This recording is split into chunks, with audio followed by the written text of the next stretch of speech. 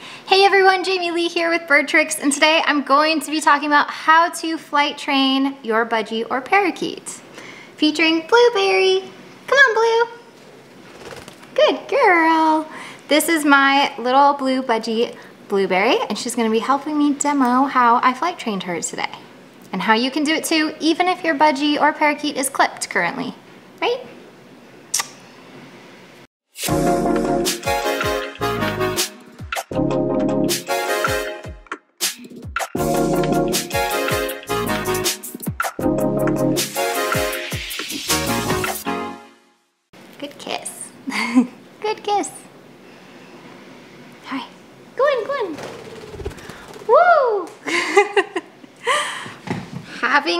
Flighted budgie around the house is probably the most fun ever.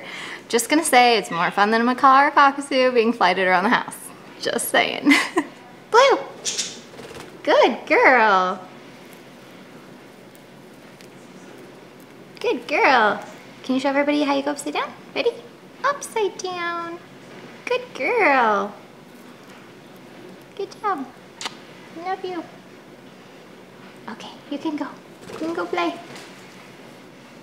So the first thing I wanna say about this topic is try to, when you're doing this training, try to really reinforce your bird coming onto your hand and landing on your hand, not on your head, not on your shoulder, not on your arm, um, but on your actual hand. And this will let you know how well trained this is. Now, for those of you that have birds where you're just automatically thinking, my bird's terrified of hands, this is never gonna work for me, um, you can definitely start by flight training your bird to your shoulder. I've known plenty of cockatiels, um, because cockatiels tend to be very hand phobic naturally, uh, where people just flight train them to their shoulder and then they slowly transition that down to the hand. So if you're in a position where you need to start there, you definitely can, but I would highly highly recommend trying to start with flight training to your hand just to keep it clean from the very get-go.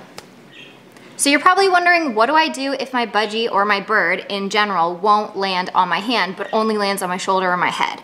Um, the idea is that you transition them off. So whether you need to lure them down your arm onto your hand, or if you can target them down, which we'll talk about a little bit later, um, anything you can do to not give the positive reinforcement as far as the treat is concerned up on your shoulder or your head. So don't deliver the treat up there if you're wor really working towards the hand. You wanna make sure that the treat only ever comes to the bird when your bird is in the proper position of being on your hand. That will really clearly communicate that your bird needs to get there to get the treat. Even if they hop right back off, you're gonna be able to extend that amount of time that your bird hangs out there later. So you might be wondering, why have my bird land on my hand? Why can't it go onto my shoulder or onto my head? A lot of people like having their birds on their shoulders because it's just more convenient when they go to do their day-to-day -day things. And the thing that I like about having your bird land on your hand is it actually looks like a more trained behavior. You also, it's a lot more safe so that you just know what your bird is up to, how your bird's feeling, how your bird's reacting. A lot of the times going to the head or the shoulder is kind of a retreat where the bird might be escaping something that it might find a little intimidating. Um, whereas you know that your bird's a lot more comfortable on your hand. So that's why I really say have your bird go to your hand. So obviously if you found this video, you're already interested in teaching your bird to come to you, but a lot of the reasons why you would want to train something like this is just for the utter health of your bird. Just like when you have a dog, you're supposed to take it on walks and get it exercise and get it outside. Um, birds need exercise too, and sometimes that can be proven a little bit more difficult in captivity. So flight training is a great form of exercise for our birds. The second reason that I really recommend flight training is just for your overall relationship with your bird. I believe that flight training is one of the number one ways to build a really amazing relationship with a bird. Um, it's probably some of the best feelings that I've ever had is having my bird choose to come and land on me. The third reason that you'd want to train your bird flight training is just for skill development and safety. So keeping your bird safe where it can get out of situations that it needs to and come find safety, i.e. you, um, or get itself to safety. So really flight training builds skills that your bird should have should something happen or should it be in a predicament where it needs to be able to have those skills to escape something or find its way to safety. So this is my daughter Capri. She is Hello. at the time of this video seven years old. And one of the things, well actually some of the things that we did with our budgie Blueberry before she could fly were forms of exercise and enrichment and we're leading her to being able to flight train or recall train to us. Do you remember some of the things that we did for Blueberry? Mm -hmm. Can you name one of them? Um, one of them when she was like first coming out of the cage.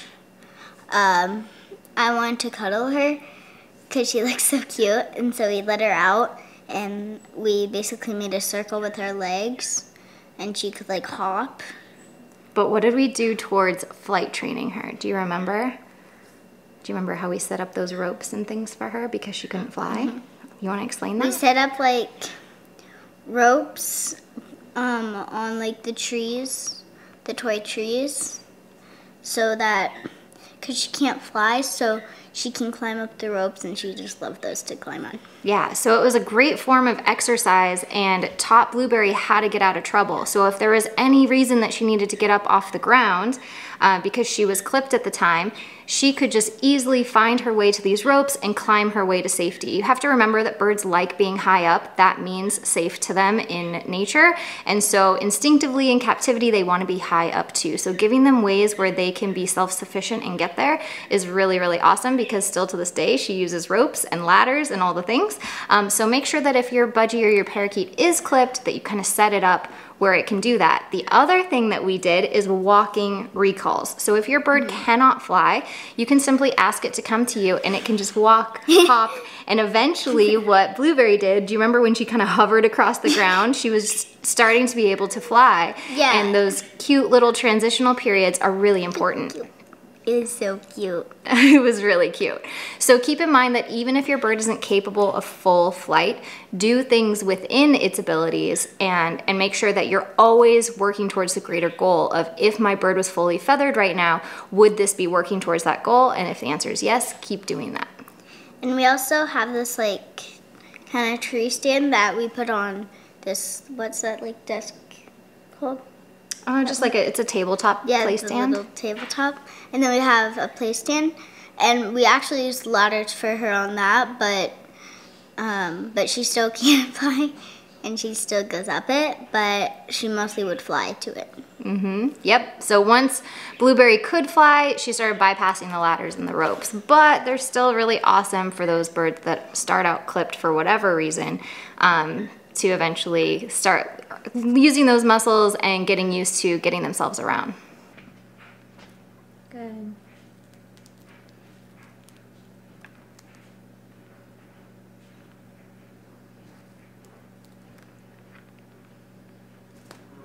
Good.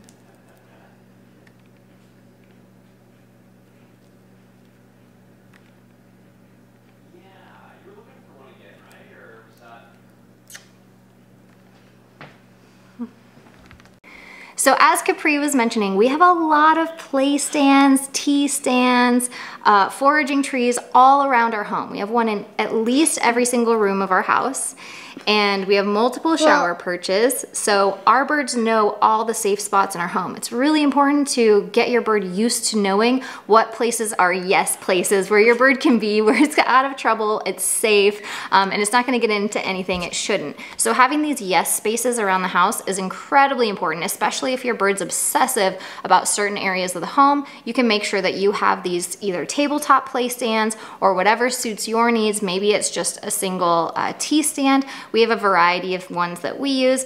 Um, you can have them on wheels so you can kind of move them around, which we do. We kind of redecorate all the time. Um, but having these safe spaces is gonna go a long way in teaching your bird, your house and your home and your environment, and that will teach a lot of skill building that you don't necessarily have to work really, really hard at. Your bird will actually be working on it on its own time. Even like, if you don't really have a lot of T-stands, you can also use the cage. Yes, you could have multiple cages. Yeah, so in Capri's room, she has a tabletop play stand, which is near like the top part of her top bunk bed. And then she also has a cage for Blueberry to be in that we often find Blueberry putting herself away in, especially when we have company over. She tends to not want to hang out with company and she goes and puts herself away um, just to kind of be away from the chaos. And so having multiple cages is another aspect that you can definitely do if you don't want to do open play stands. And also you're a safe spot. Yeah, people of the home should be the safe spot, so make sure that you're always reinforcing that you are a safe place to be. Blue. I was just walking close and close. Blue.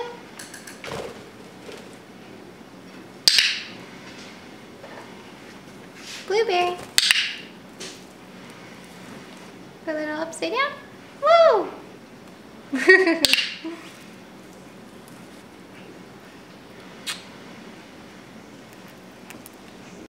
So I know that this next technique is something that everybody's really resistant to, and I think that life for parrots in captivity would be so much easier if humans weren't so resistant to this technique.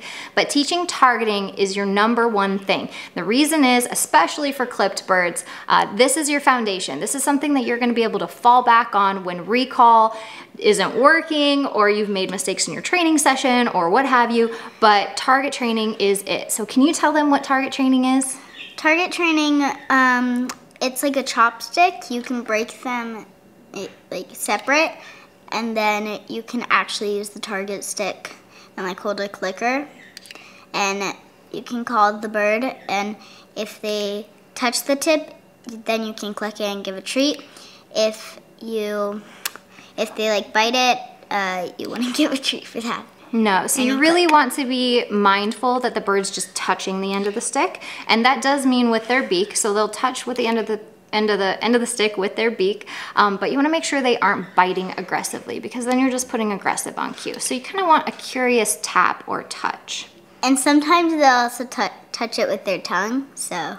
That's a great method, especially for larger birds. So those of you watching that maybe have larger parakeets like the Alexandrine parakeet, um, those birds definitely have a big beak for their body size. So you may want to resort to teaching them to touch the end of the stick with their tongue. I did this with a hyacinth macaw because you could imagine how easy it was for him to accidentally break the end of the stick, um, just since we use chopsticks and they're made of wood. So keep in mind, however you need to get that gentle target, you just want a gentle touch. You don't want an aggressive bite down.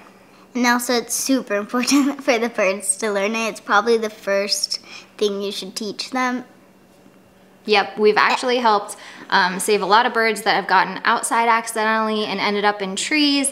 And uh, sorry, I was pushing you back. But the other thing is that target training is really powerful for birds who may be scared of human interaction, especially dealing with hands um, or just dealing with people in general. So it's a really great hands-off training technique where you aren't asking the bird to interact with your hand. So having that foundational training technique and having your bird be 100% at it is really important because if your bird isn't coming based off your recall, you might be able to pull out your target stick and ask them to target instead and here they come.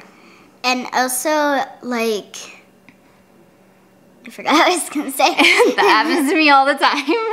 Um, the other thing I wanna say is just target training really comes in handy when you are reaching failure points in anything else. You just kind of go back to basics, back to your foundation, and target training is really it. So I'm gonna show you some examples of target training with my Budgie Blueberry, how we helped her learn the layout of the house, all the different areas that we give her to be able to land and have fun around the house, and some of the flight training that we do to keep it interesting for her. One of the things I will say that we kind of failed at early on right before we lost Blueberry outside, luckily recovered her, so check out the video in the mm-hmm. video description. I will leave a link to that video because that was so scary for I'm us. I'm glad we got her back. yeah, but one of the things that I had a failure point of was I didn't really work with Blueberry on ascending and descending. Um, wow, I did that backwards. But so, so one of the things I didn't, I didn't really focus on was putting her at high up areas and then asking her to come down. And putting on the brakes was a failure point for her when she was outside, which is why she totally missed me in slow motion.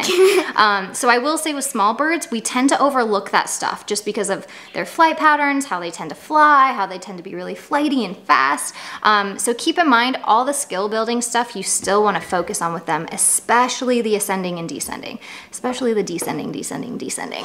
um, so definitely work on that. Try to find ways to make it really fun and interesting for your bird and make sure that flight training isn't the only thing that you're working on. Work on other things too to vary it up and keep training fun and interesting. And always stop before your bird gets tired. You don't want this flight training to become an exercise regime where you're just like boot camp and exhausting your bird. You want your bird to always look forward to it and almost initiate the play. Mm -hmm.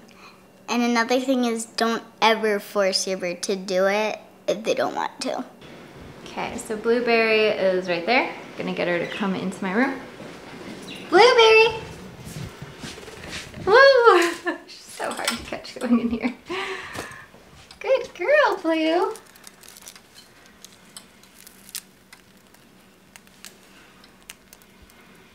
Okay, you want to go into the main room and then Capri's room?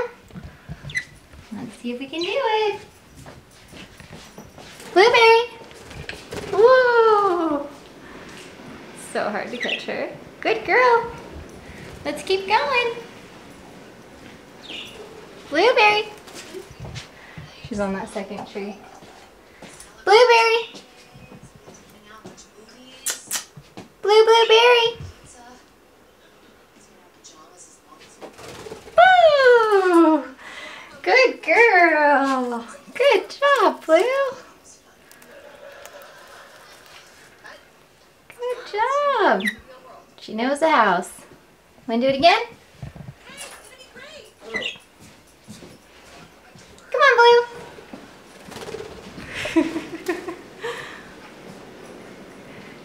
you got it. Yep, let's go.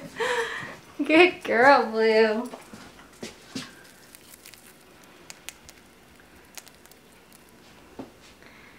Good job, little Berry. Way too good at this game. Way too good. Come on, Berry. Woo! blue, blue.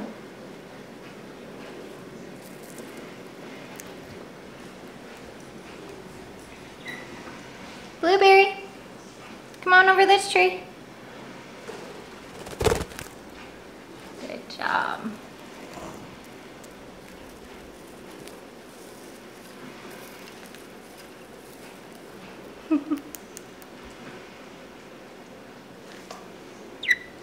You're doing awesome.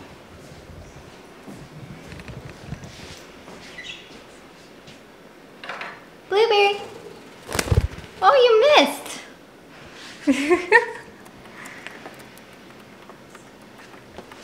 Blueberry. Good job. All right, everybody, thank you so much for watching this video. Let me know what you liked about it in the comments and what questions you still have about flight training small birds, and hopefully we can create that content for you in the future. And don't forget to like and subscribe. Yeah.